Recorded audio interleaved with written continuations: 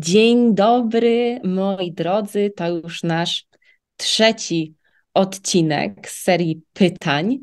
E, dwa ostatnie, no mam nadzieję, że się Państwu spodobały. Mm, teraz czas na trzecie pytanie, e, a mianowicie e, na keto stabilniejsza glikemia. Czy to jest prawda? No i dzień dobry Tomku. Cześć Marta, serdecznie Cię witam. E, ostatnio chyba też było o keto, tak? Bo mieliśmy, aha, mieliśmy szybkość odchudzania.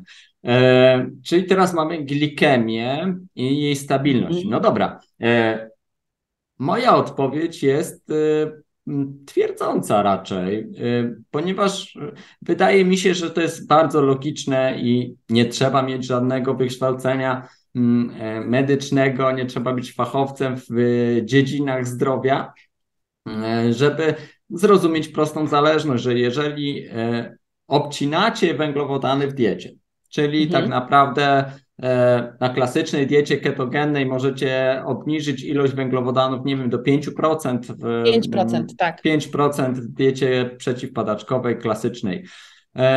Więc zauważcie, że jeżeli nie podajecie węglowodanów w diecie, to skąd macie mieć wahania poziomu węglowodanów?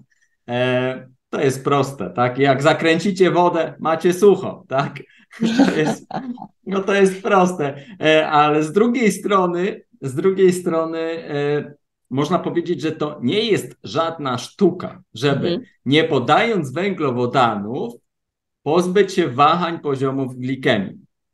Ja zawsze mówię, że mamy klasyczny w większości e, przypadków e, naszych pacjentów, bo my doskonale wiemy, że e, jednym z naczelnych, naczelnych haseł na sztandarze propagatorów diet ketogennych jest przełamywanie insulinooporności mhm. i tego, że właśnie nie będziesz miała, nie będziesz miał wahań poziomów glikemii, nie będziesz miał insulinooporności, dlatego że przechodzisz na keto dietę. I tutaj no chyba odpowiedź jest prosta. No przecież nie będziesz miała, nie będziesz miał, jeżeli przestajesz podawać węglowodany. Skąd miałyby się te wahania brać? Natomiast e, pytanie jest oczywiście, czy to jest właściwa strategia? Czy to nie, czy to jest strategia? No wiesz, co później, no bo my wiemy, do tego pewnie nieuchronnie dojdziemy w naszej rozmowie, ale co później? Chodzi mi o to, czy to jest strategia, chcę Was zmusić do pewnej refleksji. Mhm. Chodzi mi o to, czy to jest strategia przełamywania, pozbycia się pewnego problemu. Nazwijmy to, nie wiem, mam, e, mam za bardzo tutaj nieposprzątane na podłodze, załóżmy dzisiaj, tak? Mhm. Ja mam dwie strategie. Ja mogę zrobić tak, że ja rzeczywiście tą podłogę odkurzę, pozbędę się tego brudu, wyniosę go na śmietnik Mhm. Albo mogę powiedzieć, że okej, okay, zaraz do mnie przychodzą goście, więc wezmę i ten brud zgarnę pod dywan, tak? Pytanie, mhm. czy nie, nie widać tego brudu, bo ja go zgarnąłem pod dywan. Rozumiemy się teraz? Tak, no jest Ale czyściutko. Czy... No jest czysto na pierwszy rzut oka. Ale wystarczy, że e, no i to jest, to jest przykład, który dokumentuje przełamywanie na keto, na keto e, insulinooporności. Nie do końca, bo są pewne aspekty, które są trwałe, e, bo sam aspekt utraty masy ciała, my wiemy, że sama utrata, odchudzenie się e, sprzyja zmniejszeniu insulinooporności. Ale mhm. tak naprawdę, jeżeli mówimy o mechanizmie na poziomie komórkowym, który, mm, który jest podstawą insulinooporności i sprzyja do tych wahań glikemii, to my wiemy, że mamy ten model zamiadania pod dywan. I, i uwaga, i teraz, jeżeli zakładamy, że ten pacjent jest wiecznie na keto, no to, to nie będziemy wiedzieli, czy on nie będzie miał wahań glikemii, no bo ciągle nie podajesz węglowodanów w diecie. Mhm. Natomiast, no i oczywiście na ten temat są badania. Pacjenci wychodzą z diety i wykonuje się y, ten carb challenge, tak? Czyli mhm. po prostu wykonujemy test, obciążamy glukozą pacjenta, który wyszedł z keto. No i co widzimy? No i widzimy sytuację, która niejednokrotnie jest dramatyczna. Ja mam bardzo wielu pacjentów, którzy po okresie przebywania na keto z powodu e, zaleceń właśnie przełamania insulinooporności, no, no wiecie, ja się z tym nie zgadzam, ale tak jest i na, to jest nagminne. E, e, I po wyjściu z tej diety e, bardzo często szybko już rozpoznajemy cukrzycę typu drugiego, ponieważ oni nagle e, włączają węglowodany do diety, e, no i oczywiście na poziomie komórkowym e, te mechanizmy nie zostały usunięte insulinooporności. E, ich trzustka zale, zalewa e, organizm insuliną, mamy bardzo dużą insulinemię, bo mamy oporność, tak. kanały glukozowe się nie otwierają. No i, no i tak, mamy hiperinsulinemię, mamy insulinooporność, mamy huśtawki glikemiczne po wyjściu z keto. Czyli Wracając, Marta, do odpowiedzi na Twoje pytanie, e, czyli inaczej, na pytania albo wątpliwości naszych pacjentów. Rzeczywiście, jeżeli przestaniesz podawać węglowodany, nie będziesz miała, nie będziesz miał huśtawek glukozowych.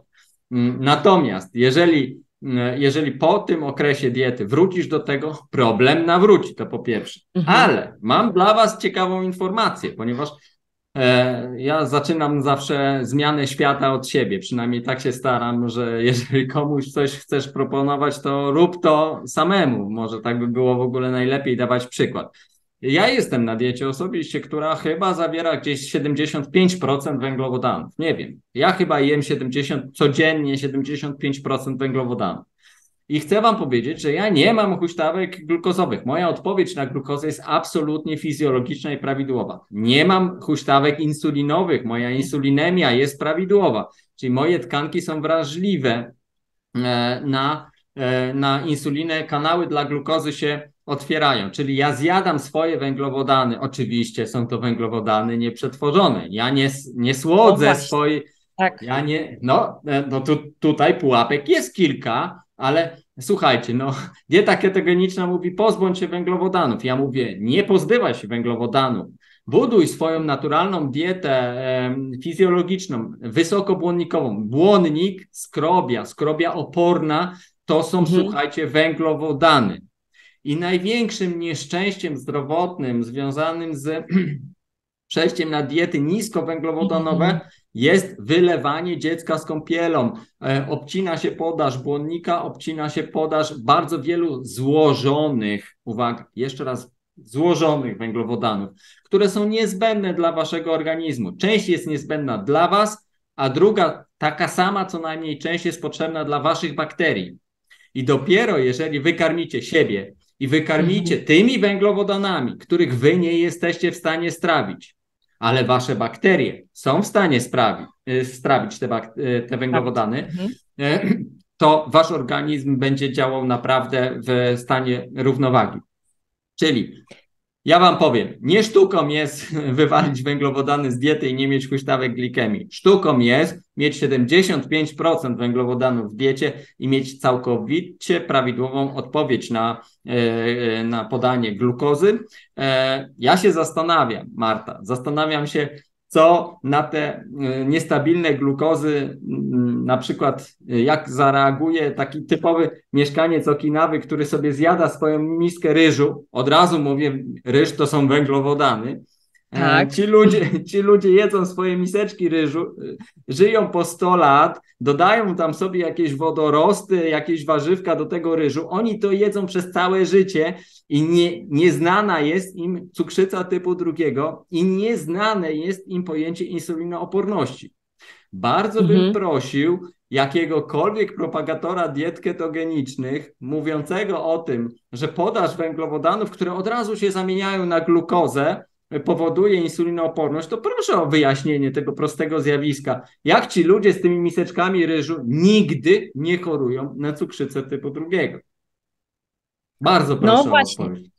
I tutaj tak, ja bym też bardzo prosiła o odpowiedź, yy, tym bardziej, że przecież no ja tych węglowodanów w diecie też mam bardzo dużo, biorąc pod uwagę swoją nieprzetworzoną dietę roślinną, a badam sobie yy, regularnie glukozę, insuliny i nie zdarzyło mi się glukozy mieć wyższej niż 75, a insuliny wyższej niż 4, więc yy, no nijak się to ma do jakiejkolwiek insulinooporności.